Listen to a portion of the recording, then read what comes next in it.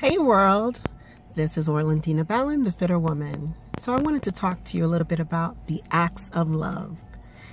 The reason why I decided to do this was I know that in our day-to-day, -day, just like you, we're all very busy. And in our busy lives, we tend to forget just to enjoy the little things.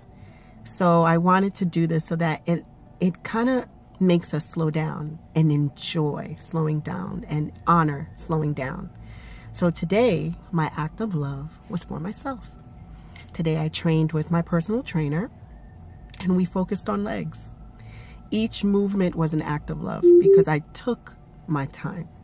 I relished in the extension, I relished in the flexion, I relished in the ascents and descents. I took time out for me.